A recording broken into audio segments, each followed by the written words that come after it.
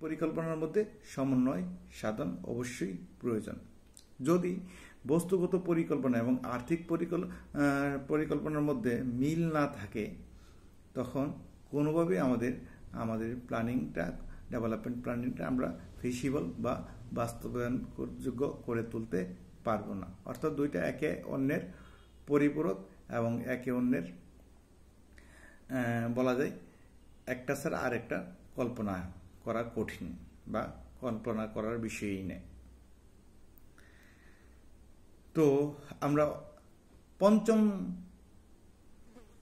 প্রকার পরিকল্পনা আমরা যেটা দেখতেছি, দেখব এখন, সেটা হচ্ছে প্রণোদনামূলক পরিকল্পনা ও নির্দেশাত্মক পরিকল্পনা, বা ইংলিশে যেটাকে বলেছে planning by inducement and planning by direction, যে প্রণোদনামূলক পরিকল্পনা কাকে বলে এবং নির্দেশ নির্দেশনামূলক নির্দেশাত্মক পরিকল্পনা আমরা সে এখন এই প্রকারভেদটা নিয়ে আলোচনা করব। কোনো দেশের সরকার যখন সরাসরি অর্থনৈতিক কার্যাবলী নিয়ন্ত্রণ না করে, অনুরোধ, উপরোধ এবং উৎসাহ প্রদানের মাধ্যমে পরোক্ষভাবে পরিকল্পনার অভিষ্ট লক্ষ্যগুলো পূরণ করার চেষ্টা করে, তাহাকে, তাকে প্রণোদনামূলক পরিকল্পনা বা প্ল্যানিং বাই ইন্ডিউসমেন্ট বলা হয়। অর্থাৎ সরকার সরাসরি কোনো অর্থনৈতিক কার্যাবলী নিয়ন্ত্রণ করবে না। দেশে যে, যেভাবে আছে, সেভাবেই চলতে থাকবে আর কি।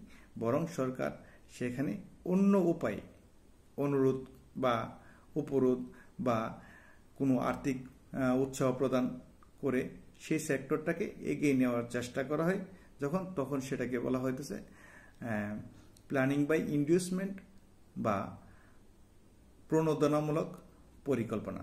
অর্থাৎ সরকার সেখানে সরাসরি কোনো পরিকল্পনা বিরোধিতা করতেছে না ব্যক্তি স্বাধীনতার উপর কোনো হস্তক্ষেপ করতেছে না যা শুধু সে ওই সরকার তার প্ল্যানটাকে বাস্তবায়ন করার জন্য, তার থিমটাকে জনগণের সাথে এবং প্রয়োজনীয় সময় অর্থ দিয়েও সাহায্য করে সেই সেক্টরটাকে এগিয়ে নেওয়ার চেষ্টা করা হয় আর কি। তখন সেটাকে বলা হইতেছে প্ল্যানিং বাই ইনভেস্টমেন্ট বা প্রণোদনামূলক পরিকল্পনা। এখন প্রকান্তরে উৎসাহমূলক বা নির্দেশাত্মমূলক পরিকল্পনা, যেটা হচ্ছে দেশের সব ব্যক্তিগত উদ্যোগের অপশন ঘটিয়ে রাষ্ট্র যখন যাবতীয় কার্যাবলী সরাসরি নিয়ন্ত্রণ করে, তখন তাকে নির্দেশনা, নির্দেশাত্মক পরিকল্পনা প্ল্যানিং বাই ডিরেকশন পরিকল্পনা বলা হয়। এ ধরনের পরিকল্পনায় দেশে একটি কেন্দ্রীয় পরিকল্পনা কর্তৃপক্ষ থাকে এবং এই কর্তৃপক্ষের নির্দেশে সকল অর্থনৈতিক কার্যক্রম পরিচালিত হয়। এই যে, যেহেতু সেন্ট্রাল গভর্নমেন্ট বা সেন্ট্রাল নির্দেশে সবকিছু পরিকল্পিত এবং বাস্তবিত হয়, সেই জন্য সেটাকে বলা হইতেছে নির্দেশাত্মকমূলক পরিকল্পনা। সাধারণত আমরা সমাজতান্ত্রিক অর্থনৈতিক যে দেশগুলো আছে, সেদের প্ল্যানগুলো যদি আমরা খেয়াল করি, তখন দেখব তারা সেন্ট্রালি সব কিছু নিয়ন্ত্রণ নিয়ন্ত্রণ করতেছে এবং সেন্ট্রালি সব কিছু পরিপূর্ণ প্ল্যান করতেছে এবং সেটা জনগণের উপর চাপিয়ে দেয় এবং তাদের দিয়ে সেই পরিকল্পনাটা বাস্তবায়ন করতেছে। তখন সে, সেটাকে বলা হইতেছে নির্দেশাত্মকমূলক পরিকল্পনা। তো planning by inducement and planning by direction বা এই দুইটার মধ্যে একটা তাহলে আমরা বস্তুগত একটা পার্থক্য দেখতে পারতেছি। যে প্ল্যানিং বাই ইন্ডিউসমেন্ট সেটা হচ্ছে ব্যক্তি স্বাধীনতার উপর স্বাধীনতার উপর কোনো রকম হস্তক্ষেপ না করে কৌশলে তার কাজটাকে এগিয়ে নেওয়াকে বলা হইতেছে প্রণোদনামূলক পরিকল্পনা। আর যখন সরকার বা সেন্ট্রাল কর্তৃপক্ষ ডিরেক্ট কমান্ড দিয়ে কাজ করে নি বা পরিকল্পনা বাস্তবায়ন করতেছে, তখন সেটাকে সেখানে আর বেশি ব্যক্তিগত স্বাধীনতা বজায় থাকতেছে না। তো প্ল্যানিং বাই ইনভেস্টমেন্ট সেটা হচ্ছে পুঁজিবাদী রাষ্ট্রের একটা চরিত্রের মধ্যে অন্যতম একটা চরিত্র। আর প্ল্যানিং বাই ডিরেকশন হচ্ছে সমাজতান্ত্রিক রাষ্ট্রের একটা বড় বৈশিষ্ট্য। তো আমরা ছয় নম্বর পরিকল্পনা প্রকারভেদটা আমরা দেখি। ছয় নম্বর পরিকল্পনার প্রকারভেদ হচ্ছে আমাদের বাণিজ্য চক্র, বিরোধী পরিকল্পনা ও উন্নয়ন পরিকল্পনা। বাণিজ্য চক্র, বিরোধী পরিকল্পনা ও উন্নয়ন পরিকল্পনা, যা anti anticyclical planning and development planning. তো, আমরা বাণিজ্য চক্র সম্বন্ধে মোটামুটি অলরেডি জানি যে কখনো রিসেশন, কখনো প্রোগ্রেশন এইভাবে চক্রটা চলতে থাকে আর কি। উন্নত দেশে অনেক সময় বাণিজ্য চক্রজনিত মন্দভাব দূর করার জন্য পরিকল্পনা গ্রহণ করা হয়। তো এই বাণিজ্য চক্রে কখনো যখন ডিপ্রেশন টাইম চলে বা রিসেশন পিরিয়ড চলে, তখন এই রিসেশন পিরিয়ড কাটানোর জন্য প্ল্যানিং দরকার থাকে। সেটাকে বলা হতেছে বাণিজ্য চক্র বিরোধী পরিকল্পনা। বা অ্যান্টি সাইক্লিকের প্ল্যানিং অর্থনৈতিক স্থিতিশীলতা অর্জনই মূলত এই প্ল্যানিংয়ের মেইন লক্ষ্য। আমরা নাইনটিন থার্টি থার্টি উনিশশো তেত্রিশ সালে গ্রেট ডিপ্রেশন বা মহামন্দার কথা আমরা জানি। এই গ্রেট গ্রেট ডিপ্রেশন বা মহামন্দা দূরীকরণের সময় যুক্তরাষ্ট্র নিউ ডিল বা মন্দা দূরীকরণের জন্য নিউ ডিল নামে একটি কর্মসূচি গ্রহণ করে, যেটা বাণিজ্য পরিচালনা বাণিজ্য চক্র মন্দাভাব দূর করার জন্য একটা পরিকল্পনা এবং এই বাণিজ্য চক্র বিরোধী মন্দাভাব দূর করার জন্য যে নিউ ডিল চুক পরিকল্পনা, সেটা একটা গুরুত্বপূর্ণ পদক্ষেপও বটে এবং এটা দিয়ে বাণিজ্য চক্রের মন্দাভাবটা দূর করার চেষ্টা করা হয় আর কি।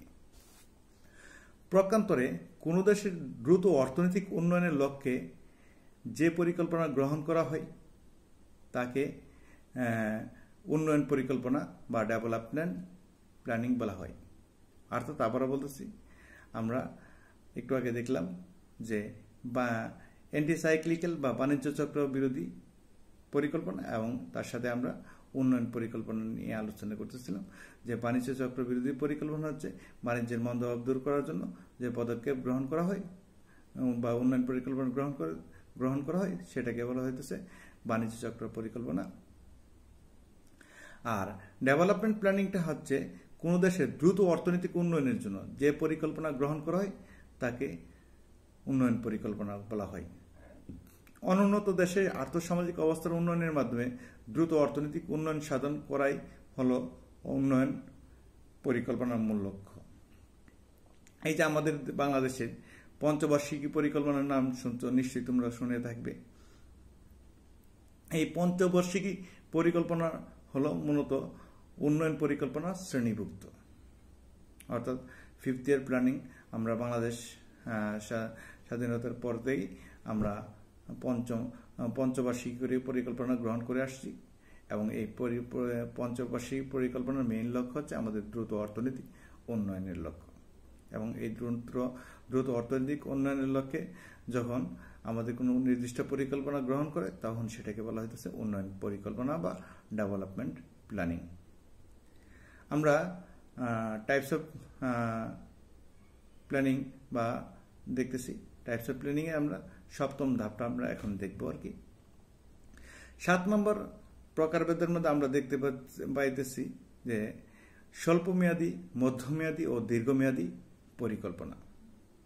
তো আমরা এতক্ষণ পরিকল্পনাগুলো বিভিন্ন অ্যাঙ্গেল থেকে দেখলাম, এখন আমরা দেখব সময়ের দিক থেকে পরিকল্পনাটা। সময়ের উপর ডিপেন্ড করে পরিকল্পনাগুলোকে তিনটা ভাগে ভাগ করা হয়েছে। একটা হচ্ছে স্বল্পমেয়াদী পরিকল্পনা আর একটা হচ্ছে দীর্ঘমেয়াদী পরিকল্পনা আর একটা হচ্ছে মধ্যমেয়াদী পরিকল্পনা।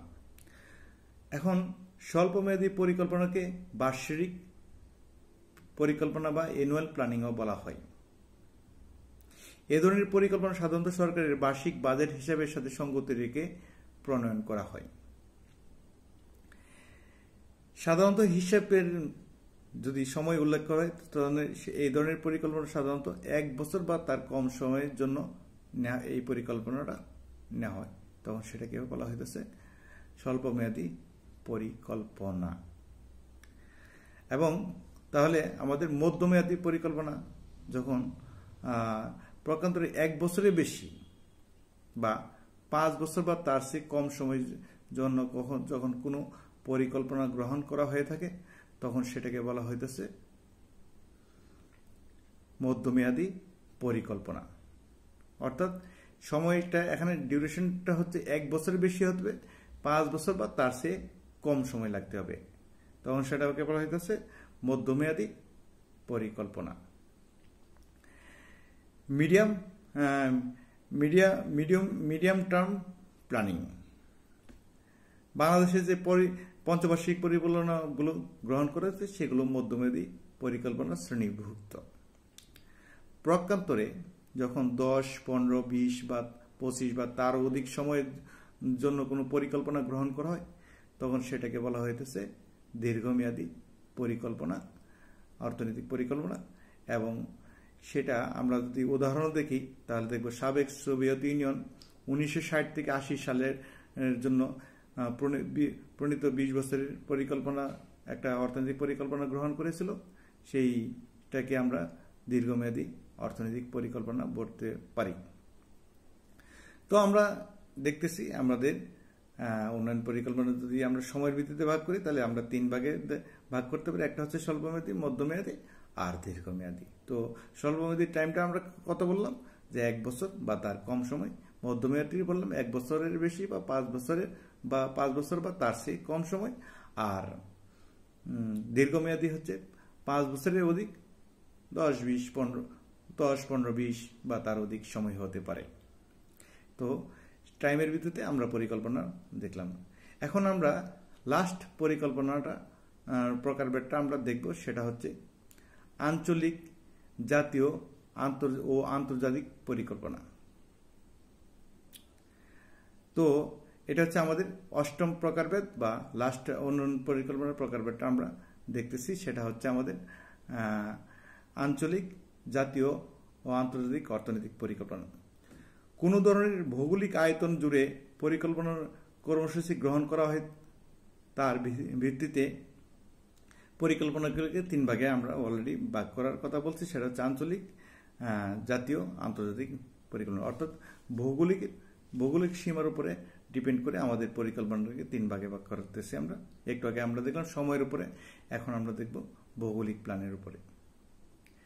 ভৌগোলিক অবস্থানের উপরে। এখন, একটি বিশেষ অঞ্চলের উন্নয়নের যখন জন্য পৃথকভাবে পরিকল্পনা প্রণয়ন করা হয়, তখন কোনো বা একটি দেশ কোনো দেশের বিশেষ কোনো দেশের একটি বিশেষ অঞ্চলের উন্নয়নের জন্য যখন পরিকল্পনা প্রণয়ন করা হয়, তখন সেটাকে বলা হইতেছে আঞ্চলিক পরিকল্পনা বা রিজিওনাল প্ল্যানিং প্রকান্তরে একটি দেশের সমগ্র অঞ্চলের জন্য যখন পরিকল্পনা গ্রহণ করা হয়, তখন সেটাকে বলা হইতেছে ন্যাশনাল প্ল্যানিং বা জাতীয় পরিকল্পনা। তো আমরা রিজিওনাল প্ল্যানিংটা আবারও বলতেছি, কোনো দেশের একটি বিশেষ অঞ্চলের বিশেষ অঞ্চলের উন্নয়নের জন্য যখন প্ল্যানিং করা হবে, তখন তো সেটাকে বলা হইতেছে আঞ্চলিক পরিকল্পনা।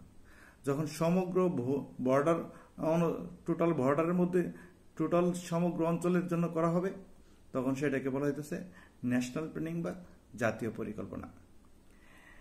এছাড়াও একটি দেশের রাষ্ট্রীয় সীমানা হলো জাতীয় পরিকল্পনার ভিত্তি। আবার যখন দুই বা ততোধিক দেশ সম্মিলিতভাবে তাদের অর্থনৈতিক উন্নয়ন ও পুনর্গঠনের জন্য পরিকল্পনা গ্রহণ করে, তখন তাকে আন্তর্জাতিক পরিকল্পনা বলা হয়। অর্থাৎ কোনো দেশ তার নিজস্ব লোক বর্ডার ছাড়াও যখন পার্শ্ববর্তী কোনো দেশ বা অন্য কোনো দেশের সাথে সমন্বয় সাধন করে তার অর্থনৈতিক উন্নয়ন পরিকল্পনা উন্নয়ন পরিকল্পনা ও পুনর্গঠনের জন্য কাজ করে থাকে কাজ করে, কোনো পরিকল্পনা গ্রহণ করে, তখন সেটাকে বলা হইতেছে আমাদের ইন্টারন্যাশনাল বা আন্তর্জাতিক পরিকল্পনা ইন্টারন্যাশনাল প্ল্যানিং বা আন্তর্জাতিক পরিকল্পনা। এখন আমরা এটা এটা এটা এখন নতুন আলোচিত টপিক এবং আমরা যদি ইউরোপিয়ান ইউনিয়নের দিকে তাকাই, তাহলে সহজে আমরা বুঝতে পারব। কারণ ইউরোপীয় ইউনিয়ন সামগ্রিকভাবে সকল দেশের উন্নয়নের জন্য তারা সামগ্রিকভাবে প্ল্যান করে থাকে আর কি। এবং এই টপিক এই প্ল্যানেট অলরেডি বিভিন্ন দেশে, বিভিন্ন লোকাল দেশগুলোতে বিভিন্ন অঞ্চলে সেটা অলরেডি জনপ্রিয়, খুব জনপ্রিয় হচ্ছে আর কি। যে সামগ্রিকভাবে শুধু নিজের না, পার্শ্ববর্তী দেশের নিয়ে উন্নয়ন করার জন্য আর কি। তো সুপ্রিয় শিক্ষার্থীবৃন্দ, আমরা আজকে অলরেডি দেখলাম যে উন্নয়ন পরিকল্পনা কি। উন্নয়ন পরিকল্পনা আট ধরনের প্রকারভেদ আমরা দেখলাম। আট ধরনের প্রকারভেদের মধ্যে আমরা বিভিন্ন ধরনের প্রকারভেদ, সবগুলো প্রকারভেদ নিয়ে আমরা আলোচনা করলাম আমাদের টপিকসগুলো আশা করি তোমাদের আজকের এই লেকচারটা তোমরা মনোযোগ দিয়ে শুনবে এবং তোমাদের পড়াশোনার জন্য খুব উপযোগী হবে আর কি। তো আমি আর আজকে তোমাদের সাথে আর ক্লাস টপিকস নিয়ে আলোচনা করব না। আমি আশা করি আমরা অতি শীঘ্রই তোমাদের সাথে সরাসরি ক্লাসের মাধ্যমে পাঠদান কর্মসূচিতে অংশগ্রহণ করতে পারব এবং আমাদের কোভিড নাইন্টিনের যে জটিলতা সৃষ্টি হয়েছে, সেই জটিলতা অলরেডি দূর হওয়ার দূর হওয়ার পথে আমরা আশা করি অতি শীঘ্রই আমাদের কলেজ খুলতে, খুলবে এবং আমরা তোমাদের সাথে সরাসরি ক্লাসে দেখা করতে পারব। সেই পর্যন্ত তোমরা প্রত্যেকে ভালো থাকো এবং নিজের স্বাস্থ্যের দিকে নজর দাও এবং কোভিড নাইন্টিন সম্পর্কে সরকারি স্বাস্থ্যবিধি মেনে চলো এবং নিজে মানো, অন্যকে মানতে উৎসাহ উৎসাহ করো। তাহলে তাহলে দেশের সার্বিক মঙ্গল হবে। আমি সেই কামনায় আগামী দিনগুলোতে ভালো থাকবে। সেই কামনায় আমি আজকে মতো তোমাদের কাছ থেকে বিদায় নিতেছি। আল্লাহ হাফিজ।